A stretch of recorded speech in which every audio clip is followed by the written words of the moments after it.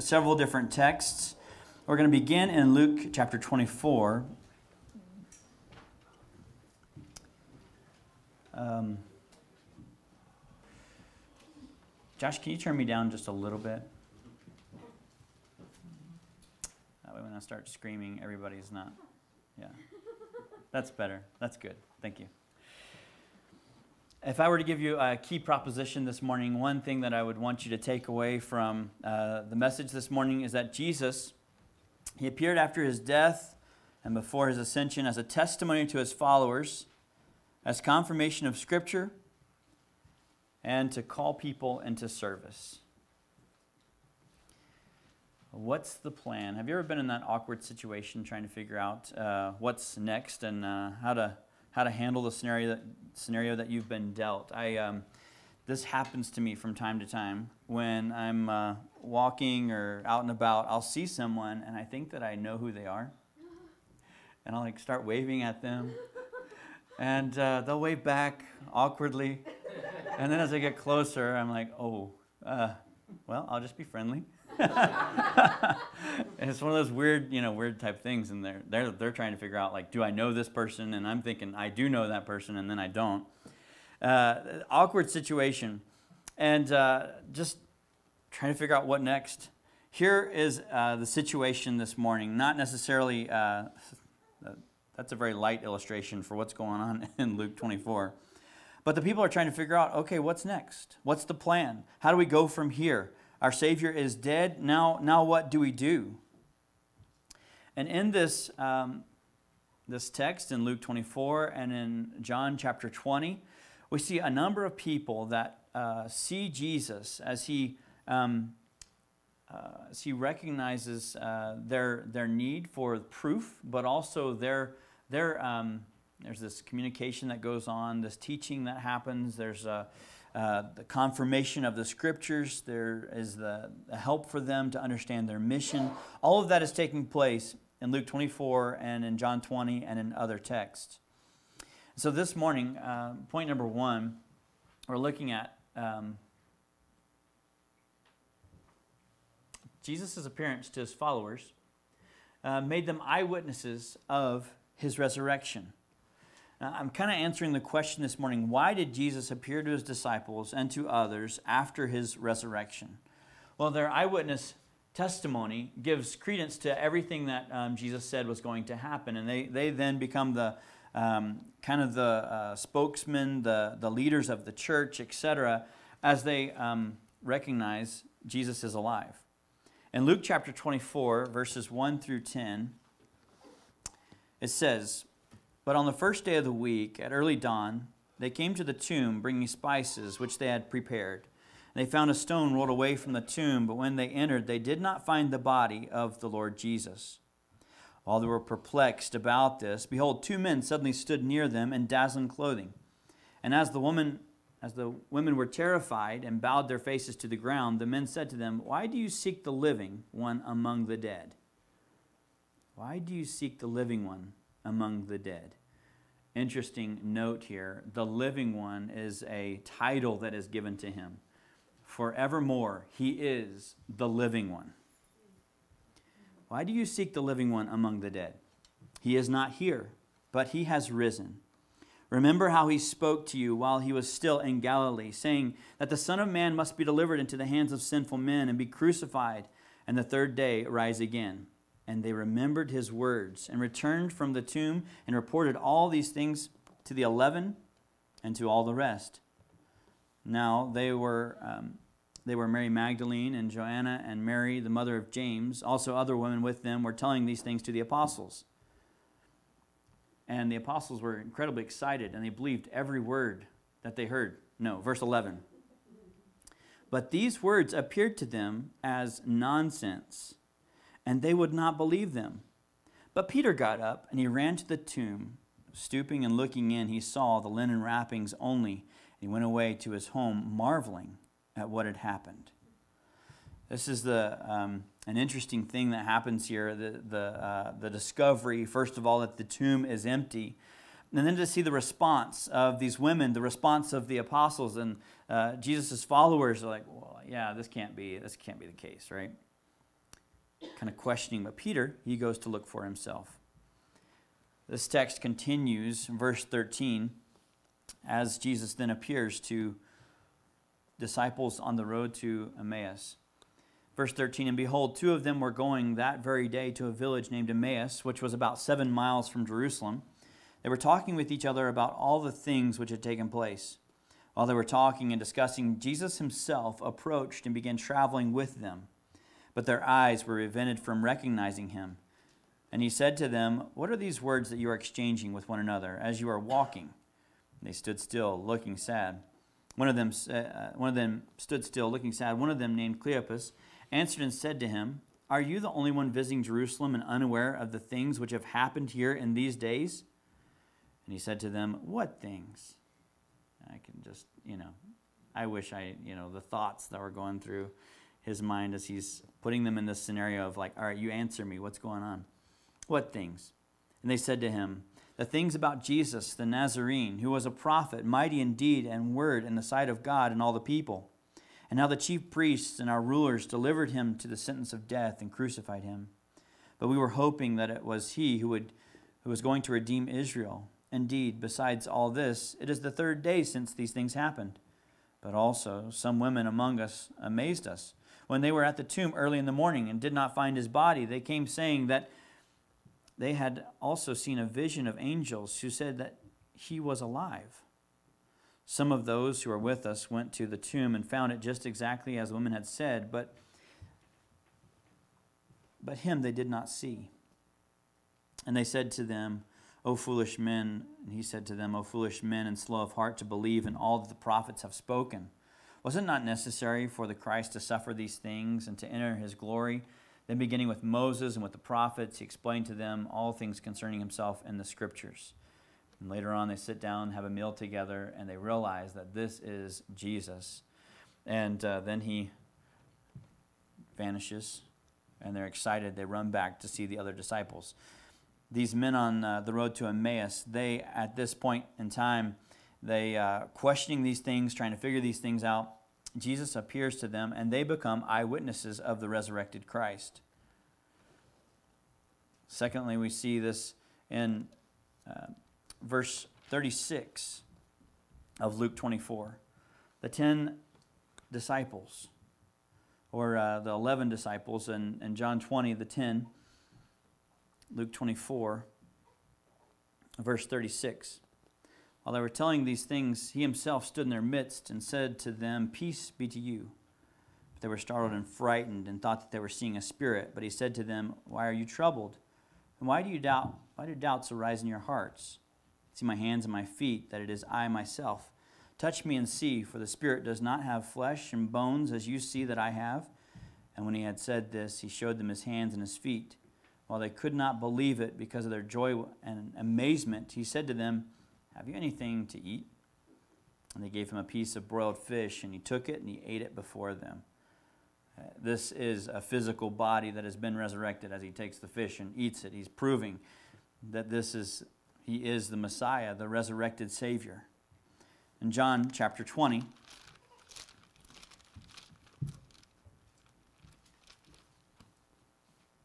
beginning in verse 19.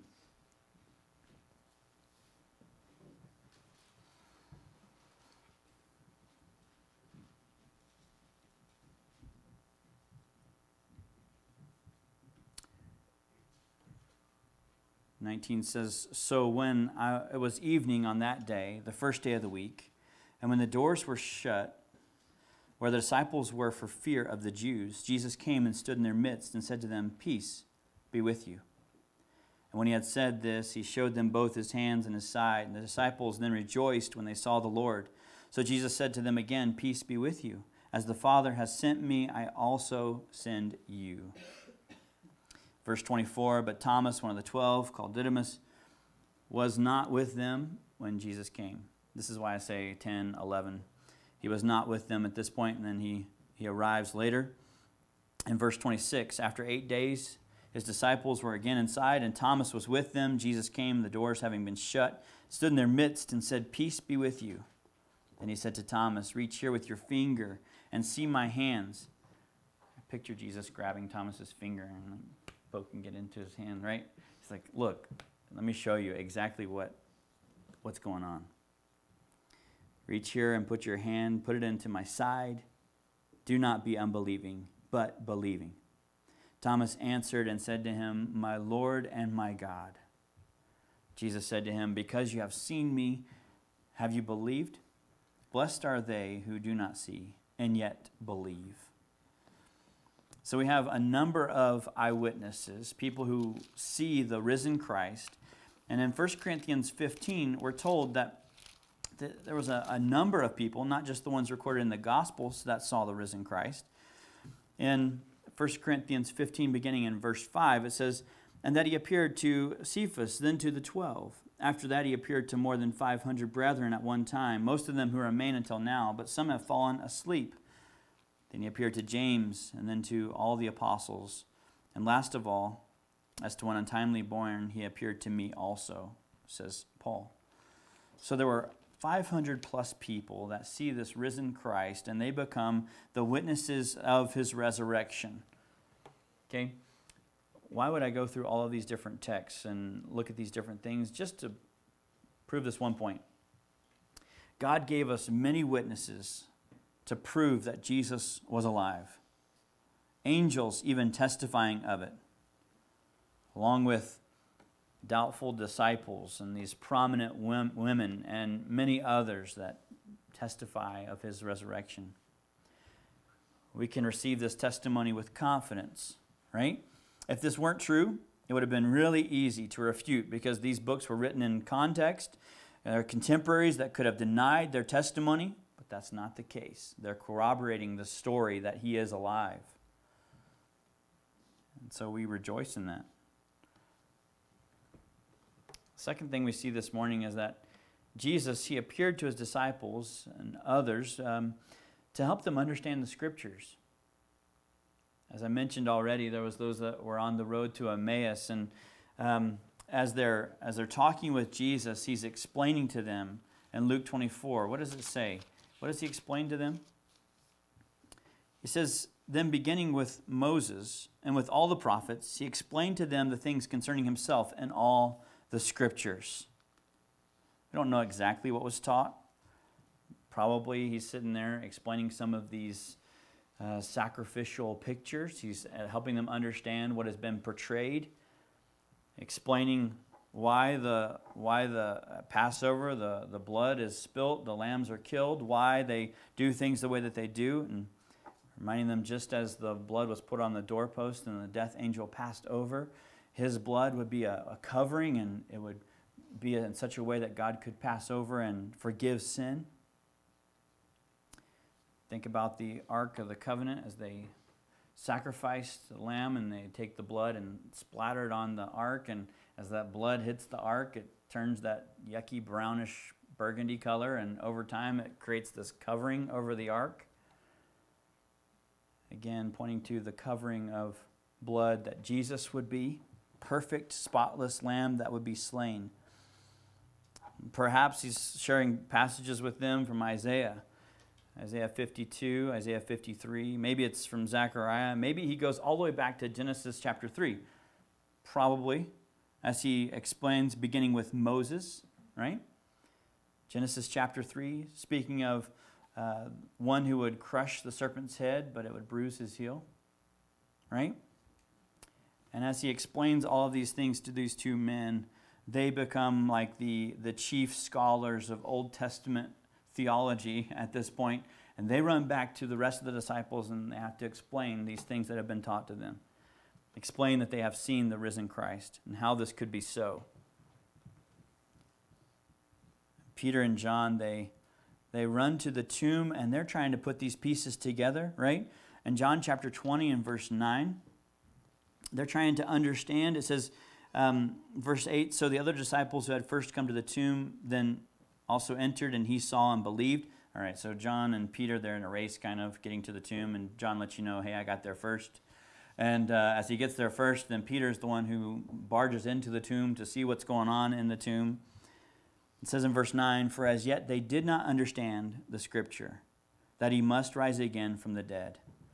So the disciples went away again to their own homes. And so they're, they're trying to put all of these pieces together. And in God's sovereign plan, He, he brings Jesus back into the, the picture to teach and instruct and to um, confirm Scripture.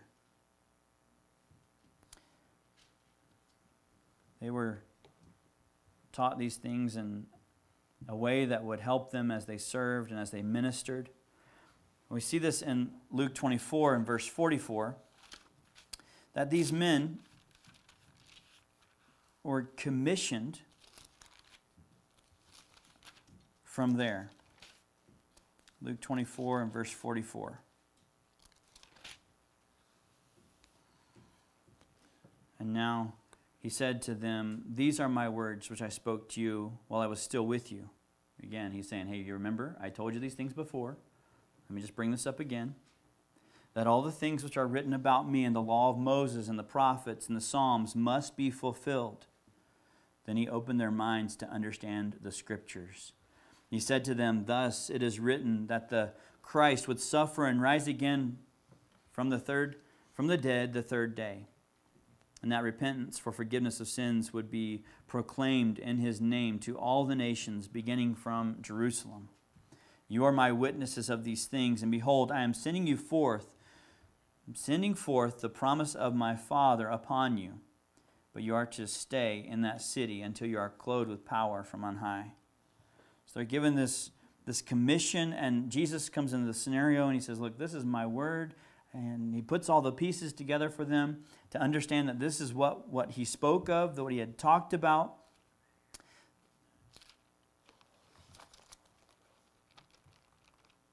I think it's Matthew chapter 16. Do you remember when Peter and Jesus are having this little conversation? And um, he asks Peter uh, who he is, right? verse 14, well, let's go to verse 13. Now, when Jesus came into the district of Caesarea Philippi, he was asking his disciples, Who do people say that the Son of Man is? And they said, Some say John the Baptist, and others Elijah, but still others Jeremiah or one of the prophets. He said to them, But who do you say that I am? And Simon Peter answered, You are the Christ, the Son of the living God. And Jesus said to him, Blessed are you, Simon Bar Jonah, because Flesh and blood did not reveal this to you, but my Father who is in heaven. I also say to you that you are Peter, and upon this rock I will build my church, and the gates of Hades will not overpower it.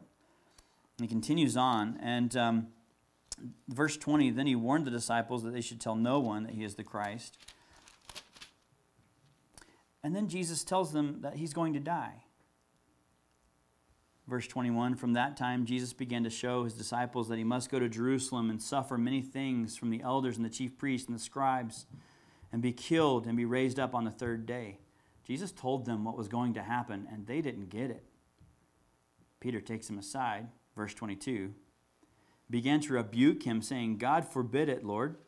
This shall never happen to you. But he turned and said to Peter, Get behind me, Satan. You are a stumbling block to me for you are not setting your mind on God's interest, but man's. So here, Jesus appears to them. He's not saying, Hey, I got you. I told you so. Ha ha. He's saying, Look, let me explain this to you again. Let me make sure you understand what is happening. It's happening as I said it would. And they're given this, this commission in this, uh, this understanding of the scriptures. So Jesus appears to them to give us eyewitnesses, to help, under, help them understand, help us understand scriptures, but also to help them understand the mission. Right? In John chapter 20, verse 19, this mission is given.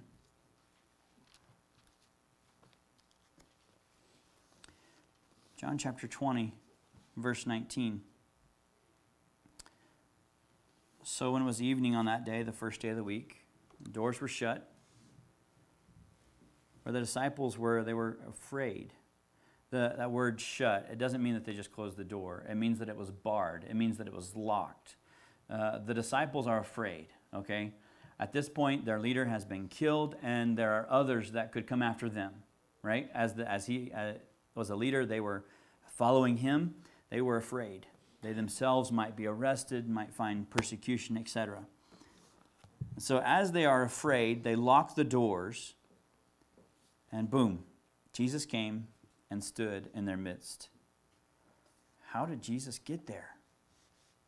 Some people say, well, he, he was hiding, and then when they came in, he popped out. I don't think that's the case. That's not what we find here in this text. And some say, well, he actually found an open window. And so he came in through a window. And that's not in the text either. He came and he stood in their midst. How did he do this? He has a glorified body. And in that glorified body, he is able to appear where he wants to appear. I would say it's in the same way that when the disciples go in and find his, uh, his um, the garments, the, the thing that they what they wrapped him in to bury him, they find it laying in its place. Be exactly the same way. It was just boom. He decided he was going to go, and he went. He decided he was going to appear, and he appeared.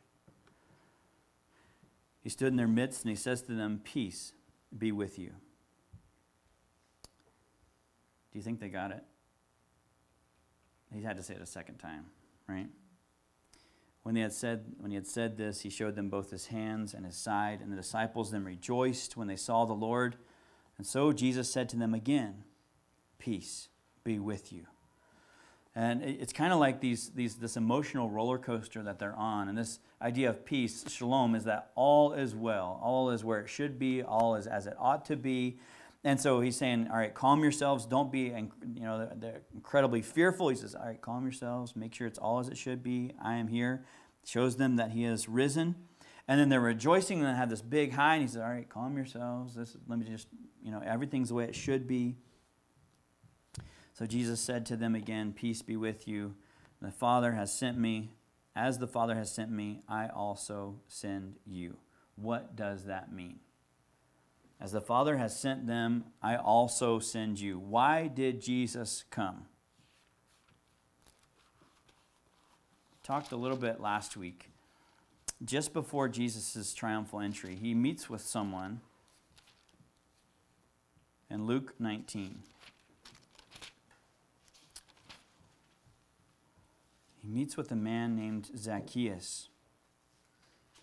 And in verse nine, uh, chapter 19 and verse 9, he says, I will give four times as much. This is Zacchaeus repenting. He's giving back. He's trying to make everything right as he has made the decision to follow Jesus. Verse 9, and Jesus said to him, Today salvation has come to this house, because he too is a son of Abraham. For the Son of Man has come to seek and to save that which was lost. Jesus was there to seek and to save that which was lost. And so in John 20, where he says, I'm going to send you, just as the Father has sent me, what is he commissioning them to do? To go and seek those who are lost. And so Jesus says to them, Peace be with you. As the Father has sent me, I also send you. And when he had said this, he breathed on them, said to them, Receive the Holy Spirit. These men are called into ministry from fear to now following Jesus. They're brought along in understanding this mission. I think that we see this pretty clearly in, in John 21 and verse 15, this, this conversation that happens between Peter and Jesus. We won't go through the entirety of this text, but remember, Peter has, uh, has had a rocky um, background, right? Uh, Jesus tells him, You will deny me three times before the, the rooster crows. And sure enough, he denies Christ even as Christ is going through um, the process of crucifixion. And so he meets with him and he commissions him. He calls him back. He, he, he says, I, I want you to serve me. And he does this three times, even as Peter has denied him three times. Now he calls him into service three times. And he says, You follow me. Take care of my sheep, shepherd my sheep, feed my lambs. There's some interesting things going on in that passage with the, the word love that is used, and we won't get into all of that this morning, but understand that Peter has been humbled, and now he is called back into service uh, of Jesus. And so this morning we look at this and we say, okay, this is incredible. Uh, what does this mean? Uh, there's there's eyewitnesses. Okay, that means that I can understand that this is uh, something that can be trusted. That Jesus did come back from the dead. I, I can understand that the scriptures are being put together for us, and that even in the Old Testament, hundreds, thousands of years prior to this event, um, this was God's plan in redeeming humanity.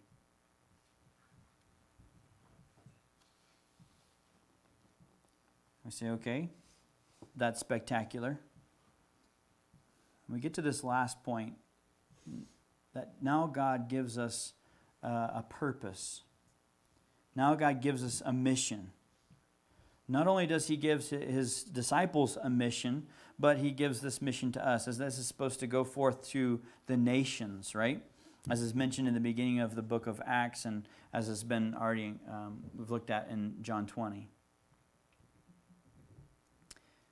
So we're called to reach the nations. And looking at 1 Corinthians 15 uh, a little bit more, I know that we're kind of moving back and forth between these different texts, but we're I'm trying to put such a big story into this, this context and help us understand some of the significance of it. In 1 Corinthians 15, we're told in verse 12. Now, if Christ is preached that he has been raised from the dead, how do some among you say that there is no resurrection of the dead? But if there is no resurrection of the dead, not even Christ has been raised.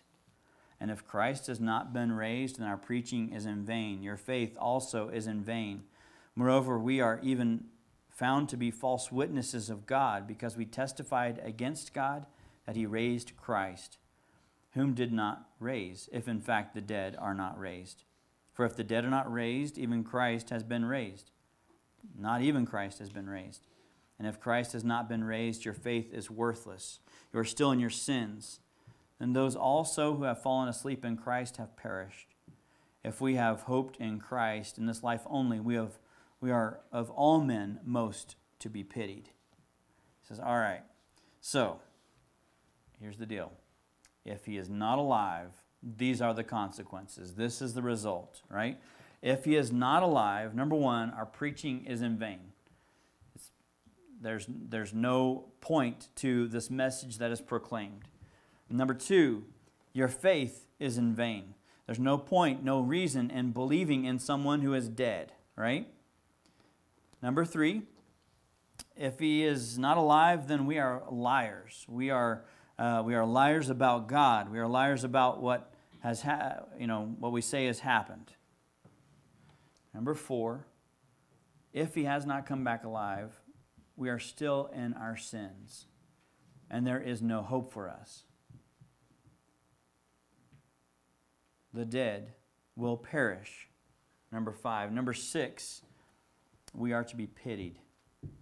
We are to be pitied. How pitiful would it be to be someone who peddles a message about a dead Savior that cannot do anything for you, cannot solve your problem, cannot eh, you know, deal with the sin issues. It would be empty, it would be pointless. And so, what we have is a, a number of people who witnessed this event of a resurrected Christ. Not only that, we have the scriptures that confirm that there was a resurrected Christ. And then we have this building up to the purpose that you have been given in Christ to proclaim this message, and it's not empty because he is alive. 1 Peter chapter 1.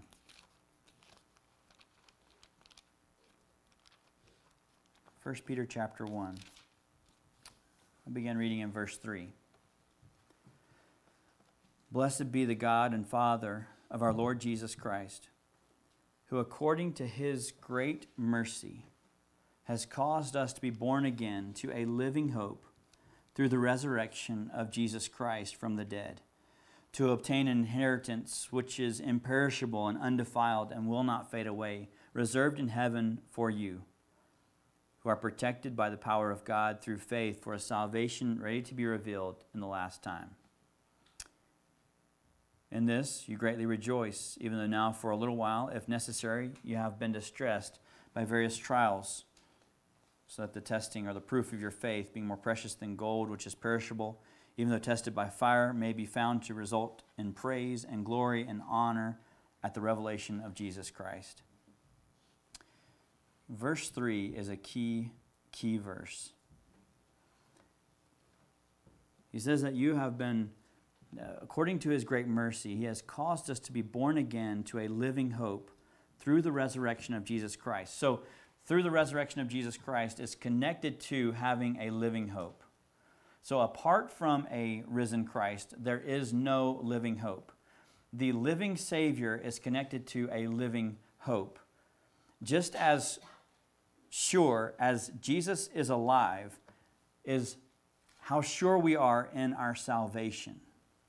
That's how important this is in this resurrected Christ. And he is alive. And so we can have a living hope.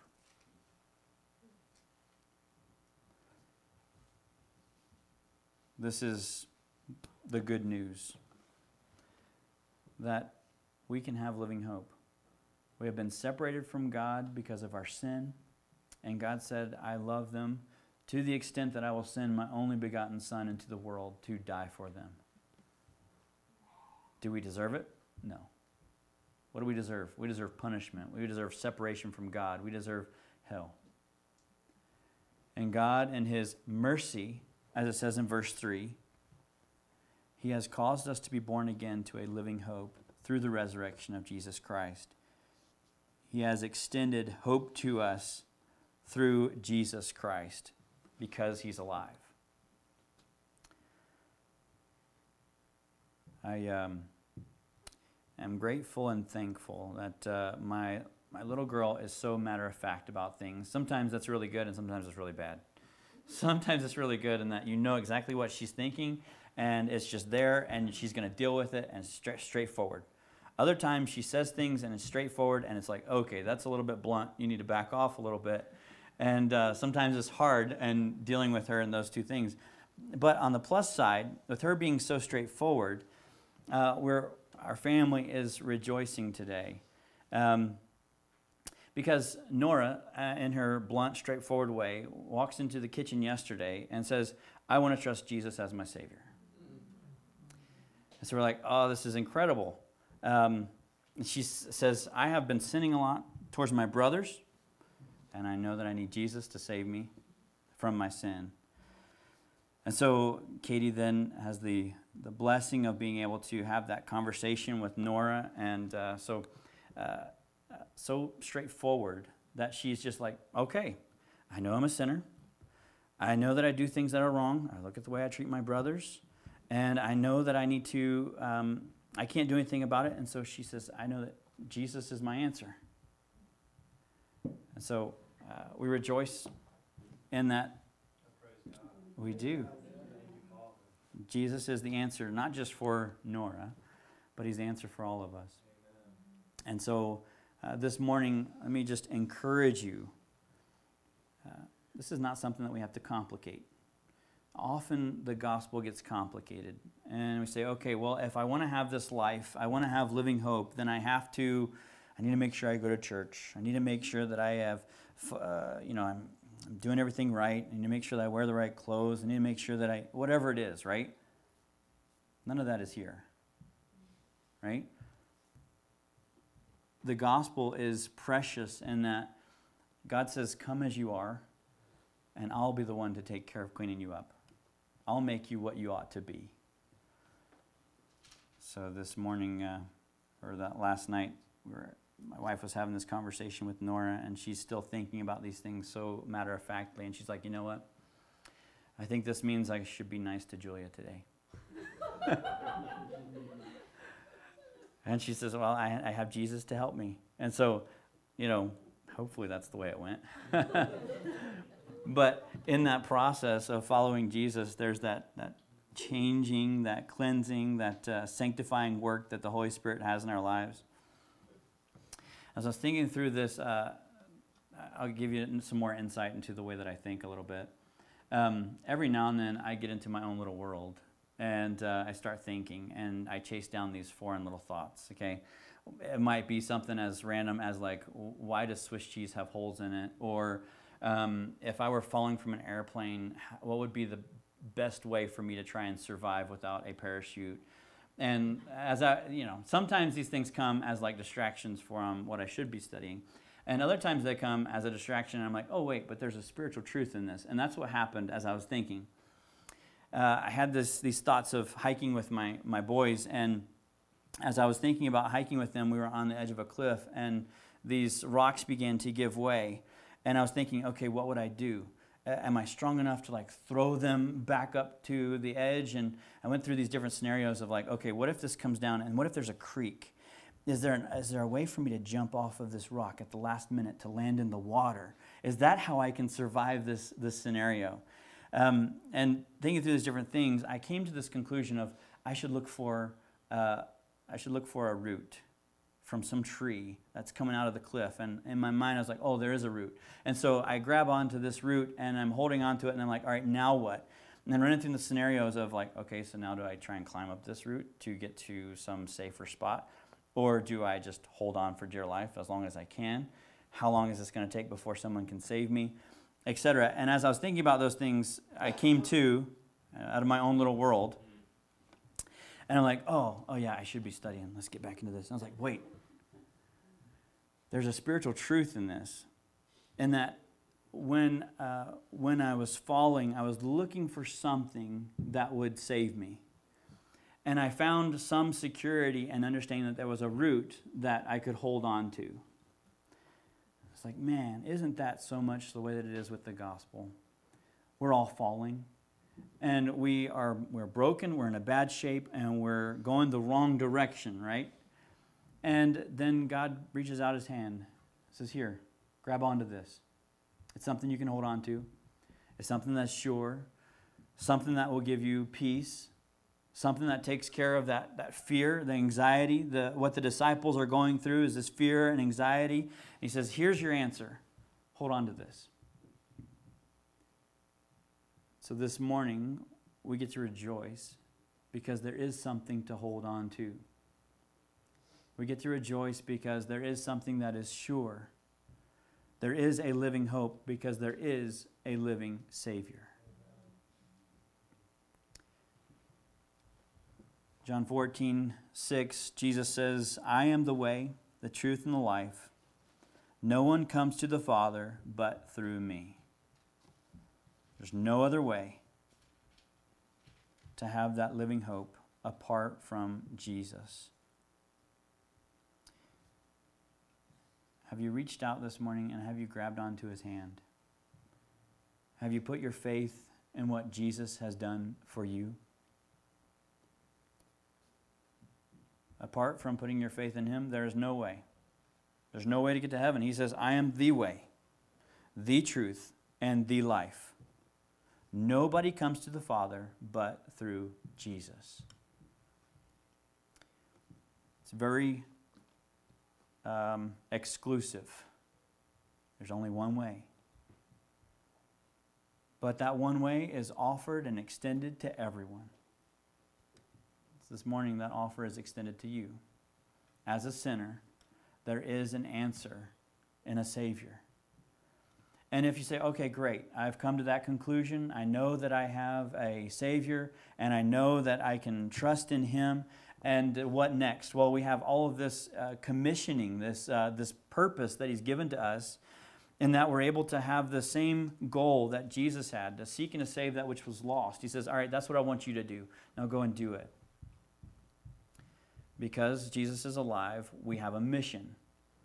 If He were not alive, we our preaching would be in vain, right? We are of all most to be pitied. We're proclaiming a lie, right? But that's none of that's the case. This is true. And so we have this message that we're able to proclaim to the world of hope. We need God's help to be able to do that. Let's pray together.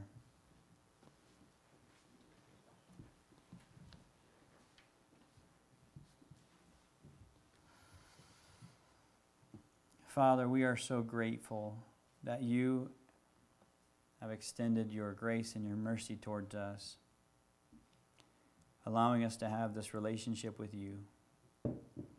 Thank you that you are more powerful than death. Thank you that you sent Jesus on our behalf to be a sacrifice for us to take the punishment that we deserved, to exchange my rags for righteousness, as He is a perfect covering.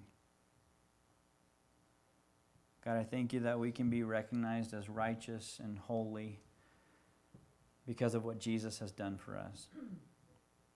I thank you that through the resurrection of Jesus that we're able to have confidence, that we're able to have this surety knowing that uh, the disciples saw Jesus, that 500 others saw Jesus, that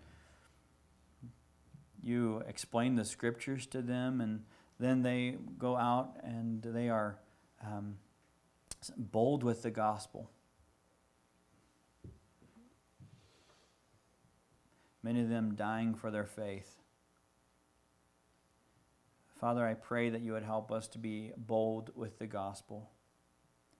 We recognize that the, uh, the nations are our mission field. As big as that may seem, Father, we recognize that the, um, the nations extends to our neighbors, our family, our coworkers the people that are around us. Father, I pray that you would help us to communicate the hope that we have in a risen Savior.